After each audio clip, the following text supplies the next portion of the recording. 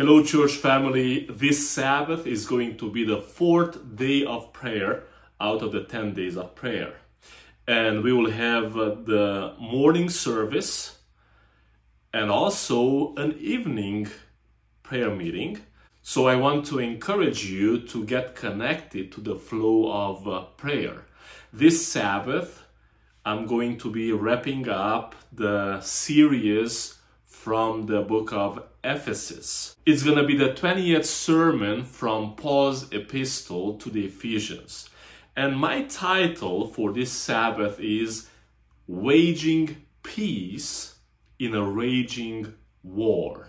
Waging Peace in a Raging War. The focus of this sermon is going to be, of course, prayer. Prayer in the context of waging peace in a raging war.